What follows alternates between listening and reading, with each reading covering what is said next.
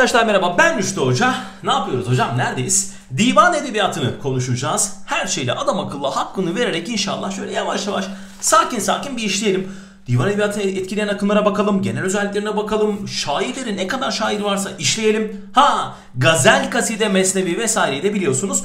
Şiir nazım biçimleri videosunda söylemiştim. Aman dikkat şiir bilgisi nazım biçimleri videosunda hepsini anlatmıştık. Oradan tekrar etmenizde büyük fayda var. Evet anahtar kelimelerle gideceğiz. Bu sizin seçiminizdi biliyorsunuz. Size sormuştum. Akrostişle mi gidelim yoksa anahtar kelimelerle mi? Hocam zaten kitabınızda akrostiş var. Biz oradan bakıyoruz. Siz oradan böyle seçme yapın demiştiniz. Biz de öyle başlıyoruz. Haydi uzattım hocam. Divan edebiyatı dendi mi nazım biriminin beyt olduğunu bilmeyen yoktur. Bu bir kere cepte kalsın hocam. Hiç tartışmaya konuşmaya gerek yok değil mi? Yani dörtlük burada hakim olmamış, kendini göstermemiş. Çünkü fazlasıyla sanatlı bir dil var. Yani ancak kendilerini beytle ifade ederlerdi. Çok da uygun olmuş. Tam ve zengin uyak göreceğiz. Yarım uyağı biliyorsunuz daha çok halk edebiyatında. Aşık tarzında zaten hiç affetmiyoruz. Her tarafta böyle yarım uyaklar havada uçuyor. İslamiyet öncesine gittiğimiz zaman yine yarım uyaklar fazlasıyla kendini gösterirken artık burada biraz daha eğitimli bir kitle var. Yani böyle Arapçaya, Farsçaya hakim, şiir bilgisine hakim, sanata hakim bir kitle var. O yüzden fazlasıyla zengin uyak kullanılmış. Şimdi beyt var, zengin uyak var. E ne duruyorsun? Aruz ölçüsüyle yazsana. Aruz ölçüsü olmazsa olmaz. Divan edebiyatının zaten şu üçlü bel kemiğidir. Yani divan edebiyatı eşittir beyt. Aruz zengin uyaktır. Bu böyledir yani hiç konuşmaya gerek yok. Oldukça soyut bir edebiyat var. Yani hocam işte ela gözlü benli dilberleri göremezsiniz divan edebiyatında. Öyle tasvirler yapılır ki yaratık gibi bir şey çıkar ortaya. Sevgili öyle bir anlatırlar ki yani yılan gibi falan bakışlar ok gibi falan şeyler kirpikler falan acayip bir tanımı vardır onun. Doğal olarak yaratık gibi bir şey çıkar ortaya. Çok da kafanda oturtamazsın oradaki benzetmeleri vesaireleri aman dikkat. Halk edebiyatında elle tutulan gözle görülen şeyleri aslında göndermeler var. O anlamda divan edebiyatı oldukça soyut bir dönem. Bu cebinizde bir kalsın lütfen. Soyut soyut soyut. Üslup çok önemli. E tabii ki. Divancılar kime sunuyorlar hocam bunu? Tabii ki padişahlara sunuyorlar değil mi? Aman dikkat. Ne yapacaklar? Geçimlerini sağlayacaklar. Oradan altın alacaklar vesaire alacaklar. Bir şekilde karşılığını alacaklar. Doğal olarak ifade ediş çok önemli. Yani şöylesin böylesin demez. Sen şöylelerin şöylesisin der. Yani devletli padişahım der. Büyük padişah demez. Şöhretli devletli diye abartır da abartır. Üslup burada çok önemlidir. Hocam mazmunlar divan edebiyatının olmazsa olmazları. Diğer saydıklarımız gibi. Mazmun nedir hocam? Ben bilmiyorum mazmunu. Mazmun dediğimiz şey biliyorsunuz hani böyle farklı farklı tamlamalar, sevgili için kullanılan kalıp ifadeler değil mi? Kalıplaşmış sözler için biz mazmun karşılığını kullanacağız. Hatta hiç kullanılmamış bir mazmun tercih ediyorsa eserinde bir şairimiz ona bikri mazmun, bikri mazmun diyeceğiz. Mazmun bulmada usta ismimiz Fuzuli'dir. Lütfen cebinizde kalsın olur mu? Mazmun bulmada usta. Belki zamanı gelince söyleyeceğiz, anacağız. Tekrar ediyorum mazmunlar kalıp ifadelerdir. Özellikle sevgiliyi tarif ederken kullanılan kalıp ifadeler. Peki dil oldukça ağır. Bu da cebimizde zaten. Hoca Dehani ilk örneklerini verecek divan edebiyatının. Evet ilk eserler ondan gelecek. Saray, eski, yüksek zümre, klasik ve daha birçok ad verilmiş divan edebiyatına. Saray edebiyatı denmiş, eski edebiyat, yüksek zümre edebiyatı, klasik edebiyat değil mi? Neler neler söylenmiş. Ve en önemli özelliklerinden bir tanesi göz için kafiye anlayışını savunacaklar. Zaten ağır bir dil varsa, sanatı sanat için yapıyorlarsa göz için kafiyeyi çok fazla tercih ediyorlar. Toplum için yapıyorlarsa orada biraz daha kulak için kafiyeye kaydırın lütfen unutmayınız önemlidir. Mahlas, mahlas nedir hocam? Adları işte takma adlarını çok fazla kullanıyorlar. Fuzuli, Bakiya, Ey Baki falan diye bitiririz ya. Aman dikkat işte onlardan bahsediyoruz. Aşk, sevgili, içki üçgeninde döner durur konular. Bu sevgili kimi zaman bildiğimiz anlamda bir sevgiliyken kimi zaman da Allah'ı ifade eder simgeler. Şiirlerin toplamda kitapsa divan olarak bilinecek ki zaten divan edebiyatı denmesinin tek ve en önemli nedeni bu arkadaşlar biliyorsunuz. Şairlerin eserlerini divan adı veren kitaplarda defterlerde topluyor olmaları. Evet divan edebiyatında akımlara bakalım isterseniz. Hangi akımlar sanatçılarımızı etkilemiş? Hangi akımlar şiirlerde kendini göstermiş onların piri, onların en başında geleni ve en önemlisi şüphesiz ki Sepki Hindi akımı. Hint üslubu anlamına da geldiğini çok iyi biliyoruz. Sepki Hindi. Bu akımda anlam derinliği çok büyük önem taşıyacak ki en önemli özelliklerinden bir tanesidir bu. Söz sanatları, ağır dil ve çağrışım zenginliği. Zaten Hepsi birbirini karşılıyor. Mesela çağrışım zenginliği olduğu için anlam derinliği vardır değil mi eserlerde? Yani ne dediğini tam anlayamazsın yazarın. O da çıkar, bu da çıkar, şu anlamda çıkar. Bir başkası okur, başka bir anlam çıkarır falan. Doğal olarak bir çağrışım zenginliği ve beraberinde anlam derinliği vardır. E tabi ağır dille söz sanatlarıyla bunu süsleyince okunamaz eserler ortaya çıkar. Gerçekten anlaşılması güç. Neşati, Nefi ve şüphesiz ki bunu ilk sıraya da yazabilirdik. Şeyh Galip bu akımın en önemli temsilcisi. Cebinizde kalsın. Çok aman aman önemli değil ama bakarsınız bir yerlerde gelebilir. Elemeniz gerekebilir. Geldik Türkiye basite. Türkiye basiti lütfen basit Türkçe gibi hatırlamaya çalışın olur mu? Böyle bir çağrışım yaptırsın size. Basit dil gibi algılansın lütfen. Sade dil çünkü fazlasıyla kendini gösterecek. Halk dilindeki mecazları göreceksiniz ve Arapça parça tamlamalardan kaçınılması gerektiğini çok sık vurgulayacaklar. Ben bunu anlatırken kitapta da vurgulamış olmalıyım. Geçen seneki konu anlatımlarımda da vurguladım. T olarak şifrelemiştim. Çok saçma bir mantık kurmuştum hatta. İşte Türkler Türk kelimesini buradan almıştım. Çayı sever. Çayın İngilizcesi tea demiştim. Tahtavalı Mahrevi, dikkat, Edirne'li Nazmi ve Aydınlı Visali'ye ulaşıyorduk oradan. Tea, çay cebinde kalsın saçma gelebilir ama akılda kalıcı nihayetinde. Önemli isimler, önemli temsilciler. Geldik mahallileşmeye. O da Türkiye basite çok benzer. Mahallileşmede ise halkın artık edebiyata girdiğini göreceksiniz. Ve en önemli savundukları şey ise İstanbul ağzını artık eserlere bir zahmet taşıyalım demeleri. Bunun bir numaralı temsilcisi şüphesiz ki Baki'dir. Nedim'le birlikte belki o birinciliği paylaşıyor olabilirler. Nedim de çok önemli ve bu akımın bir diğer önemli temsilcisi ise Enderunlu Vasıf olacak ama Baki lütfen unutmayın İstanbul ağzı dendiği zaman. Peki hocam genel özelliklerini konuştuk. Fazlasıyla yeterli olacak. Fazlasıyla ayrıntılı. İçinizde hiç şüphe kalmasın kafanızda. Divan edebiyatını etkileyen akımları da konuşmuş olduk. Eyvallah. Şimdi geldik artık divan edebiyatının kendisine, sanatçılarına, şairlerine, yazarlarına. Gelir mi gelir hocam. Konuştuğumuz şu ana kadar her şey sorulabilir ama şu dakika itibariyle artık söylediğimiz her harf, her kelime, her cümle karşınıza gelecektir. Divan edebiyatı son sınavlarda ciddi anlamda yer kaplıyor biliyorsunuz. Cumhuriyetle başa baş hatta Cumhuriyet'e geçtiği sınavlar bile oldu. Artık divan edebiyatı sınavın bel kemiğidir arkadaşlar. Bunu lütfen unutmayın. Yine en az bir 3-4 soru karşınıza illaki gelecektir. Şimdi hemen başlayalım çok uzatmadan. Hoca Dehani en önemli isimlerden. Neden hocam? Çünkü divan edebiyatının kurucusudur hocam bu. Hiç konuşmaya gerek yok. Net. Oğuz Türkçesini fazlasıyla kullanmış eyvallah. Selçuklu Şehnamesi'nin onun eseri olduğu söylenir arkadaşlar. Bu nesnel bir bilgi değil ama şöyle rastgele bir kitap açtığın zaman bile bunu görürsün. Selçuklu Şehnamesi adlı eserin Hoca Dehani'ye ait olduğu söyleniyor. Bir söylenti bu tam kesin olmamakla birlikte. Tamam lütfen cebinizde kalsın. Mehmet Fuat Köprülü Hoca Dehani ile ilgili çok önemli araştırmalar yapmış cebinizde kalsın. Hoca Dehani'nin evet din dışı konularda yazdığını bilmeyen yoktur. Aşk ve şarap konuları ise hemen hemen o dönemde zaten her şairin değindiği şeyler. İlk kaside örneklerini de yine Hoca Dehani'nin verdiğini söyleyebiliriz. Şöyle baktığım zaman benim dikkatimi çeken Selçuklu Şehnamesi adlı eserin Hoca Dehani'ye atılabileceği, ona ait olduğunu söylenebileceği ve ilk kaside örnekleri bence bu ikisi kutucuk içindekiler çok daha böyle ayırt edici özellikler. Diğerlerini birçok şair yazar için söyleyeceğiz zaten. Hoca Dehani büyüksün hocam. Geçtik. 14. yüzyılda Kadı Burhanettin de var. Kimle neyle tanınır hocam Kadı Burhanettin? Kadı Burhanettin'i hiç tartışmaya gerek yok. Tuyularıyla tanırsınız değil mi? Bilmeyen yoktur hocam. Yani Tuyu dendi bir Kadı Burhanettin'dir hiç. Divanı var. Azeri Türkçesini kullanan önemli isimlerden. Tasavvuf, din dışı konular eyvallah. Yani bir anda din bir anda din dışı konulara değinmiş. Onu söylemeye çalışıyoruz. Cinas ve tevriye sanatlarını çok sık kullanmış. Aruz ve hece Kadı Burhanettin için olmazsa olmazlardan Aşikane Gazel'in önemli temsilcilerinden ve ilginçtir mahlasa yer vermemiş olması eserlerinde adını kullanmamış arkadaşlar. Yine de Kadı Burhanettin hocam bir kelimeyle Allah rızası için özetle dersen tuyu derim başka da bir şey demem hocam. Değil mi? Net. Bakın burada 10 tane madde saydık. Bence 2-3 tanesi çok çok değerli. Diğerleri böyle biraz doldurma maddeler gibi. Sanki Mani'nin ilk iki dizesi gibi hocam. Haydi Allah aşkına. Devam. Ahmedi'yi konuşacağız. Ahmedi dendiği zaman sınavda nasıl gelebilir? Şu yeşil kalem değişsin çünkü harfler yeşillenmiş burada. Hocam Ahmedi sorulursa sınavda hiç yani konuşmaya gerek yok. İskendernamesiz, Cemşidü Hurşitsiz sorulmaz. Mümkün değil. İkisinden birini mutlaka hocam vereceklerdir sınavda. Soru eğer Ahmedi'den gelirse. Divan olan ilk şair olması evet artistik bir görüntüye sahip. Divanı var sade dille yazmış ve Oğuz Türkçesi. Bakın Oğuz Türkçesini Hoca Dehan için de söylemiştik ve birçok isim için de söyleyeceğiz. O anlamda bence bu ikili fazlasıyla ayırt edici. Yani çok net bu ikisini bilmeniz Ahmet için yetecek hocam. Yani nerede doğmuş, kaç yılında doğmuş, aman Allah'ım yanında yüzyıllar yazıyor falan işte kelime anlamı şudur, asla da Ahmet'tir, Mehmet'tir. Bunlara asla gerek yok. Daha önce de bahsettim. O gereksiz maddeleri yazmaya kalkarsak şöyle bir görüntü çıkar ortaya. Dolu dolu bir görüntü çıkar. Her taraf böyle maddeyle dolmuş. Vay be dersin adam müthiş anlatıyor. Sınava bir girersin Ahmedi ile ilgili pat hiçbir şey hatırlamıyorsun. Niye? Gereksiz maddelerle yoğruldu anlatım. Sen aradaki çok önemli olanları kaçırdın. İşte burada o kaçırmaman gerekenleri veriyoruz. Peki hocam uzattın Allah'ını seversen geç. Allah'ını seversen geç evet.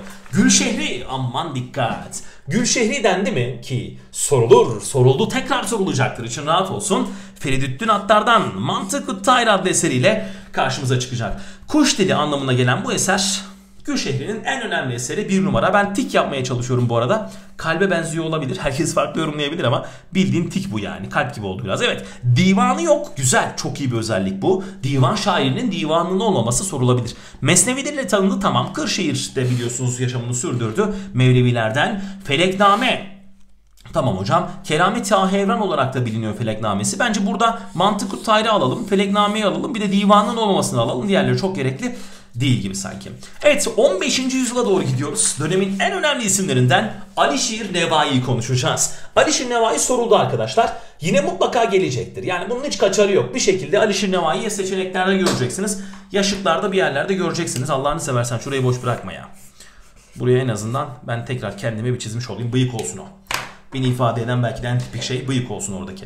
Alişir Nevai, Çağatay Edebiyatı'nın en önemli ismi. İlk tezkirenin yazarı, ilk hamse sahibi daha neyi konuşacağız? Yani Alişir Nevai şurada bitti desem bitti hocam.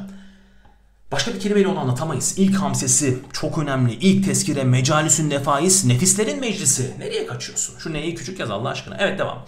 Muhakemetül lügateyn. Dillerin karşılaştırılması çok önemli. Baykara'nın, Hüseyin Baykara biliyorsun vezirliğini yapmış. Tahtayca'da dikkat Nevai dili demişler ya Çağatay Edebiyatı'nda bu vatandaşımızın bu büyük ismin kullandığı dili Çağatay dili hatta Nevai dili olarak adlandırmışlar. Tek başına dil oluşturmuş adam. O kadar yön vermiş yani döneme. Beş mesnevisi var. Hamse sahibi demiştik. İşte onları hemen burada açıklayalım. Leyla ve Mecnun, Ferhat Şirin, dikkat Hayretül Ebrar, Sebai Seyyare, Seddi İskenderi. Şimdi hocam bak hiç kasmaya gerek yok. Çıkmış sorular belli. Çıkacak sorular belli. Şimdi Alişir Nevai'nin tutup da hangisi Alişir Nevai'nin işte ne bileyim Hamsesinde yer almaz falan bunu test kitaplarında görürüz. Fazlasıyla sorarız, ederiz, denemelerde görebilirsiniz. Bunlar biraz daha sıkı çalışmanız adına sorulan sorular. Ama sınav formatında sanmıyoruz ki böyle meslevinin içeriğini sorsun. Ama tekrar ediyorum soru bankalarında olması gereken bir sorudur. Ama sınavda hiç sanmıyoruz. Daha genel sorular bekliyoruz. Peki geldik Şeyhi'ye. Yine aynı yüzyılda döneme çok ama çok yön vermiş en önemli isimlerden biri Şeyhi. Şeyhi'nin harnamesi var ilk fable örneği sayılabilecek. Hatırlayacaksınız bir eşek var idi zayıf-ı nizar idi diyor. Yani böyle zayıf kendinden geçmiş çelimsiz bir eşek vardı diyor. O eşek tabii ki toplumda ezilen kitleyi temsil ediyor. Çok güzel göndermelerin olduğu, ağır eleştirilerinde olduğu Har Eşek demek Eşekname adlı eseriyle karşımıza çıkacak. Daha çok din dışı konulara değinmiş. Gazeli eve, Mesnevi'yi şehre benzettiğini çok iyi biliyoruz. Hepimiz hatırlarız. Hüsrev Şirin'le hatırlayacağız tabii kendisini. Hüsrev Şirin ve Harname. Şimdi hocam bu ikisini cebine koyduğun zaman eşittir şeyhi. Başka bir şey bilmene gerek yok. Gerçekten öyle. Yani tutup da hocam Gazeli neye benzetti falan diyecek hali yok bu adamın. Din dışı konular. Hepsi din dışı konularda yazıyor. Büyük bir çoğunluğu yani 10 yazarın 8'i din dışı konularda yazıyor. Bu da çok belirleyici bir özellik değil. E doğal olarak Hüsrev Şirin. Türkçe divanı var. Boş ver gitsin çok önemli değil. Ama Hüsrev Şirin'le Harname şeyhiyi çözdürür sana. Süleyman Çelebi'de de Mevlidi bileceksiniz. Diğer adıyla Vesiletün Necatı. Başka da hiçbir şey bilmene gerek yok.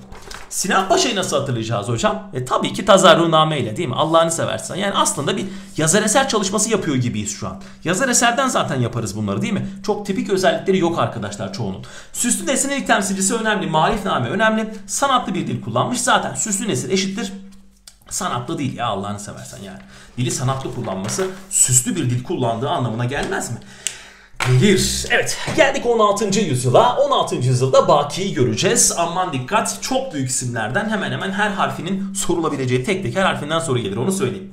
Şimdi zevk ve eğlence şairi olduğunu yani rint bir şair olduğunu biliyoruz. Çok böyle her şeyi kafasına takmayan, çok aman aman dine yönelmeyen değil mi? Din dışı konularda yazıyor ve zevk eğlence şairi eyvallah. İstanbul Türkçesi Baki'nin en kilit, en anahtar kelimelerinden. Bunu unutmayın lütfen. Kanuni Mersiyesini zaten bilmeyen yoktur. Terkibi ben şeklinde yazıyor biliyorsunuz bu Mersiye'yi. Sultan-ı Şuara bakın hangisini işaretleyeceğimi şaşırdım. O kadar önemli. Sultan-ı Şuara yani şairlerin sultanı ünvanını alacak. Tabiat çok önemli onun için. Biçim mükemmelliği, beşeri aşk değil mi? Zaten zevk ve eğlence şairinin ilahi aşkı değil de beşeri aşkı işlemesini bekleriz. Divanı var, Fezailül Cihatı var ve Fezail-i Mekkesi var. Çok önemli 3 eser. Bakın çok büyük bir isimden bahsediyoruz ama ayrı ayrı çok önemli. Bakın şu eser aman dikkat falan diyeceğimiz bir eseri yok. Yani ben bu üç eserinde sınavda çok kullanıldığını görmedim açık söylemek gerekirse. Baki geldi mi 40 kere geldi ama şu özellikleriyle geldi bu sefer de. Lütfen dikkat. Evet bu yüzyılın başa baş gidecek, Baki ile çatışabilecek en güçlü ismi şüphesiz ki Fuzuli hocam. Fuzuli'nin asıl adı Mehmet biliyorsunuz. Yazdığı her şiir çalınınca yani o yazıyor ben diyorum ki ben söyledim. O diyor ki benim şiirim bu. Adam diyor ki ya kimsenin almayacağı bir mahlas bulayım. Fuzuli boş gereksiz demek. Ama tabii Fuzuli çok önemli bir isim.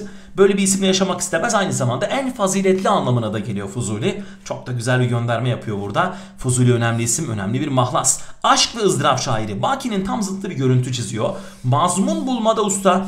Yani yeni kalıplar, yeni tamlamalar bulmada büyük ustalık sergileyecek. Tevfiket'i hatırlatır bana bu özelliğiyle. Çok alakasızdır gerçi benzetmek ama Tevfik Fikret de hani sözlüğü yanına alıyor ve o dönemde hiç konuşulmayan Cenab-ı Şahabettin'de de var bu. Akla hiç gelmeyen tamlamalar kuruyor ya. Fuzul de aynen öyle. Bir gazel şairi kendisi. Azeri Türkçesinin en önemli isimlerinden. Sehli Mümteni örneği eserler verme. Bunu biz kimde görüyoruz? Mehmet Akif'te görüyoruz. Biz bunu kimde görüyoruz? Yunus Emre'de görüyoruz hocam. Yunus'ta da var, Mehmet Akif'te de var. Nedir hocam bu? Sehli Mümteni şudur biliyorsunuz. Birçoğumuz eminim hatırlayacaksınız. Hani baktığında böyle yazılışı sanki kolaymış gibi görünür ama o kadar da kolay değildir. İstiklal Marşı'na bakarsın e, tamam yazılabilir dersin ama öyle yazılmaz işte o. Yani Yunus Emre'nin ilahilerine bakarsın ne var ki bunda dersin çok da ne var ki değildir. Yani kolay görünen ama yazılması bir o kadar zor olan e, eserler için kullanılan bir kalıp bir sanat gibi adeta. İlahi aşkı en çok işleyen isim evet en lirik şairlerden evet 3 dilde de divan yazmış. Türkçe divanı var, Arapça divanı var yani Farsça divanı var. Ya onlarca eseri var hocam onlarca. Ve ben sizler için tabii ki en önemli eserlerini topladım. Bu eserleri kesinlikle hatırlamalısınız. Ha Fuzuli'nin eser içeriğinin sorulacağını çok sanmıyorum. Ben yine de eser içerikleri videosunda bunların birçoğunu anlatacağım sizlere ama sanmıyorum onu tekrar tekrar vurgulayayım. Eserlerini bil tabii ki içeriklerini dediğim gibi videodan oturtacağız biraz. Türkçe divanı var. Bunun ne önemi var hocam? Su kasidesi. Hani hepimizin çok iyi bildiği harika bir eser. Mükemmel bir başyapıt olan Su kasidesi Türkçe divanının içerisinde yer alacak. Leyla ve Mecnun'u yazmış. Şikayetnamesi var. Hani biliyorsunuz selam verdim. Rüşvet değildir diye almadılar diyor. Ben Gübade, Hadikat Üssüeda, Tercüme-i Erbay'ın 40 hadis tercümesi evet birçoğunda var. Birçok isimde var o dönemde. Sohbetül Esmar, Rindü Zahit ve Enisül Kalp gibi çok önemli eserlere imza atmış. Bunları bilmeniz yetecek. Göreceksiniz inşallah sınavda da. Bağdatlı Ruhi. Bağdatlı Ruhi'yi terkibi bentleriyle hatırlayacağız. Terkibi bent eşittir Bağdatlı Ruhi. Başka bir şey gerek yok. Tasavvuf eyvallah. Divanı var eyvallah. Atasözü ve deyim kullanması da evet biraz artistik bir görüntüye sahip ama sanmıyoruz bunu nasıl kullanabilirler. Terkibi bentleriyle bilindiğini bilmeniz yeterli olabilir değil mi? Ziya Paşa var, Bağdatlı Ruhi var. Bu isimler terkibi bentte en önemli isimler. Evet hocam haydi devam edelim. Toplanın arkadaşlar çayları lütfen bir tazeleyelim.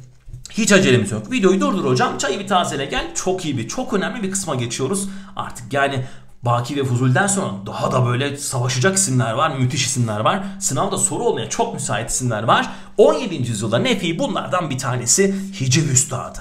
Bak kaside üstadı daha ne diyelim ya. Üstad üstüne üstad Nefi. Darri mahlasını kullanıyor ilk başta sonradan Nefi'ye dönüyor. Din dışı konularda yazmış. Mesnevisi yok. Bismillahirrahmanirrahim. Burası çok önemli. Çok önemli. Övgü ve yer, yergileri ölçüsüz. Bunu olumsuz bir yargı olarak algılamayın lütfen. Ölçüsüz derken bilmiyor anlamında değil tabii ki. Becerememiş anlamında değil tabii ki. Nefi çok büyük bir isim. Yani çok uç noktalara kadar çıkabilmiş övgüde ve yergilerde. Peki eserlerine baktığımız zaman Sihamı Kaza bence bir numara ve iki numara da haydi benden yine gelsin. Tuhvetül Uşşak. Lütfen bunu kaydedin. Bakarsınız bu sene bir yazar eserde Tuhvetül Uşşak sorulabilir. Türkçe divan, Farsça divan. Eyvallah hocam. Bu arada Türkçe değil Farsçayı Farsça deyip Türkçeyi işaretlemem de burada dikkat çekici olmalı, akılda kalıcı olmalı. Süper. Haydi hocam Nabi'deyiz. Na ve bi. İki yoktan ne çıkar bir düşün diyor önce. Na yok demek, bi yok demek. İki yoktan Nabi çıkıyor hocam. Böyle büyük bir isim çıkıyor. Büyük bir varlık çıkıyor. Dikkat. Hikemi şiirin en önemli isimlerinden Nabi ekolü diye bir ekol yaratmış adeta. Alişir Nevai hatırlıyorsunuz. Nevai dili. Ne kadar büyük bir isim değil mi? Nabi de öyle. Sosyal konulara çok değinmiş. Sade bir dil kullanmış. Yani sade dil derken bugün oku çok rahat anlarsın değil tabi. Dönemi için sade bir dil kullanılmış. Didaktik şiirleri var. Eserlerine baktığımız zaman Hayriye Hayrabat, Tuhvetül Arameyn. Burada da Tuhvetül Arameyn var sorulabilir. Surname ve Türkçe divanı. Hayriye ve Harabat zaten sorulma ihtimali %99 olanlar. Geriye kalan da belki Tuhvetül Harameyn olabilir. Evet Geldik Katip Çelebi'ye artık sona doğru geliyoruz divan edebiyatında. Konuşmadığımız kimse kalmayacak içiniz rahat olsun. Batıdan Hacı Kalfa, Hacı Halife diye anılacak. Tarih, coğrafya, tıp, astronomi yani ne yazarsan yaz Katip Çelebi o konuda bir şeyler biliyor mutlaka. Sade Nesir'in en önemli isimlerinden oldukça anlaşılır bir dil kullanmış ve çok yönlü demiştik. Onu zaten ikinci maddede vurgulamış olduk. Eserlerine baktığımız zamansa Cihan Yuma, Keşf-ü Zünun, Fezleke, Mizanül Hak tarzında çok çok önemli isimler, çok çok önemli eserler vermiş. Her biri sorulabilir. Fezleke belki böyle arada biraz kalmış ama Mizanül Hak da öyledir. Şu ikisi Cihan Yuma ve Keşf-ü Zünun her sene soru olmuştur. Bir şekilde yine bu sene de olacaktır. Onu da söyleyelim. Evet 18. yüzyıla geldik hocam divan edebiyatında Nedim diyeceğiz. Lale Devri eğlence şairi diyeceğiz. Mesnevisi yok diyeceğiz. Çok önemli bir vurgu değil mi Allah'ını seversen? Değil mi? Yani lütfen bu mesnevisi yok vurgularını kaçırmayın. Şöyle notlarımı açtım arkadaşlar. Nefi için de aynı şeyi söylediğimizi bir hatırlatmak istedim. Mesnevi yok arkadaşlar. Nefi'de de Nedim'de de. Şarkı türünün evet yani Nedim eşittir şarkı. Nedim eşittir lale devri. Ve Nedim eşittir mahallileşme akımı. Şimdi divanını, aynı tarihini yazdığını, sahaif lahbarı kimse bilmez onu sana söyleyeyim. Yani sen de ben de bilmeyiz hocam. Böyle Nedim'in eserlerini çok sayamayız. Bu üç isimde divanının olacağı belki tahmin edilir ama şu iki isim pek bilen çıkmaz. E neden hocam? Çünkü Lale Devri bilgisi, şarkı, mahallileşme, mesnevisinin olmaması o kadar baskın ki Nedim için. Onlar eserlerin üzerinde durulmamış bile. Çok da sorulmuyor eserleri ama özellikleri sorulur. Geldik divan şiirinin son büyük şairine, en büyük şairlerinden birine, hüsnü aşkla tanıdığımız, sembolik imgesel anlatımı olan, tasavvufu içten içe veren, Sepki İndi'nin bir numarası olan, divan yazmış olan ve Galip Dede lakabıyla da söylemiyle de hatırlanan Mevlevi Şeyhine, Şeyh Galip'e ne büyük bir isim değil mi Şeyh Galip? Divan şiirinin son büyük şairi ifadesi soruların olmazsa olmaz girişidir. E hocam sen Latifi'yi anlatmadın bize. E hocam Nergis'i de geçmedi. Gel isterseniz böyle kıyıda köşede kalmış. Sınavda tek başına soru gelme ihtimali çok düşük olan isimleri yine de divan şairlerini tabii ki gelin burada bir toparlamış olalım. Haydi bitiriyoruz artık. Naile'nin şarkının ilk örneklerini verdiğini unutma. Neşati'yi Sevki Hindi'de hatırlayacağımızı unutma. Latifi önemli. İlk alfabetik tezkiri olan Tezkiretü Şuara'yı kaleme almış. Aman dikkat. Keçecizade İzzet Molla, Mihnet Keşan, Keçeci Keşan, Keçeci Keşan böyle bir şifreleme olsun kafanızda. Nergisi ilk Mensur Hamse, Süslü Nesir yazarı. Nergisi'yi de Süslü Nesir'den hatırlayacaksınız. Naima'nın da Peçevi'nin de tarihi olduğunu hatırlatalım. Azmizade haleti edebiyatımızdaki en önemli Rubai ismi biliyorsunuz. Ömer Hayyam İran edebiyatının e, şeyi biliyorsunuz şairi. İran edebiyatında tanınır. Ömer Hayyam bizim edebiyatımızdaki bir isim değil. Azmizade Halet ise bizdeki Rubaici çok önemli. Zati Edirne Şehrengisi, Hayali ise divanıyla hatırlayacağız. Şimdi hocam Gazel, Kaside, Mesnevi, Tuyu, Rubai, Murabba vesaire onların şiir bilgisi sekmesinde şiir bilgisi videosunda göreceksiniz. Şiir bilgisi nazım biçimi 1, nazım biçimi 2'de bunları anlattım. Gazel, kaside, mesnevi oradan lütfen çalışın mutlaka tekrar edin. Şu anlatımlarımda en az 3-4 soru yattığını çok rahat söyleyebilirim. Divan edebiyatı ile ilgili bu anlatımlar dışında soru gelmeyecektir. Her sene olduğu gibi içiniz çok rahat olsun. Bu senede yine soruları topladığımız bir video oldu.